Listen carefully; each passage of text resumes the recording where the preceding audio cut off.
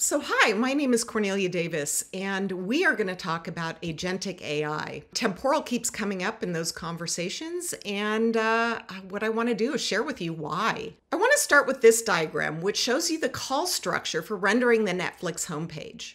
It makes calls to microservices. Some of those microservices make downstream requests to other microservices. Now we're going to make do a little bit of analysis and make a few simplifying assumptions. Let's say there's about 100 microservices in this tree. I think there's more, but let's make that assumption.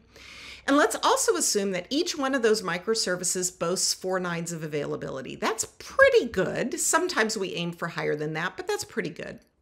Now, I'm also going to make another simplifying assumption, which is that the network is reliable, which we know it's not. But that makes our analysis a little bit easier, so let's suspend disbelief for a moment. By the time we get to the Netflix homepage, we have already lost two nines of availability. What that means is 5,200 hours of downtime for the Netflix homepage per year. So that is an hour a week, which we know is unacceptable. So, how have we dealt with that challenge in the past? Well, developers implemented a whole host of cloud native patterns to make up for that unpredictability. Patterns like managing state externally or doing retries. So let's turn our attention to AI agents.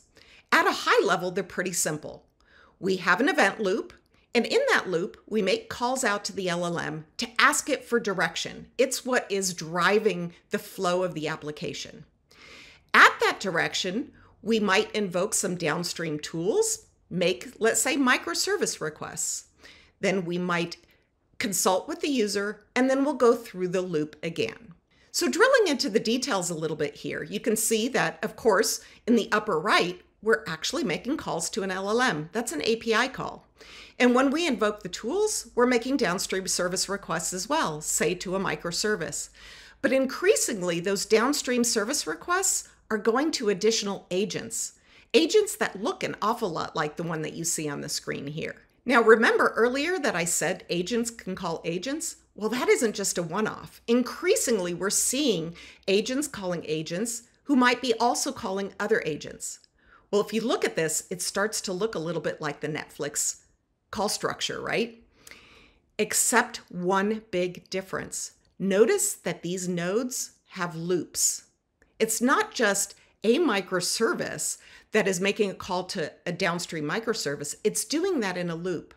So, where we had 100 downstream requests in the Netflix homepage example, we might have an order of magnitude, let's say 1,000 downstream requests. If we do the math, we are losing even more nines of availability in a scenario like this. And now overlay all the things that can go wrong Oh my gosh, I'm hoping this scares you as much as it scares me. So here's the punchline. AI agents need to deal with all the distributed systems challenges that we've had to deal with with cloud native apps in the last 10 or 15 years, except on steroids. And how did we deal with those then? Again, all of these cloud native patterns. But here's the thing in the last era, we've made the developer responsible for those patterns. The developer had to implement, for example, externalizing state and bringing it back into a different instance. What I want to introduce to you today is that temp- with temporal, you get resilience as a service.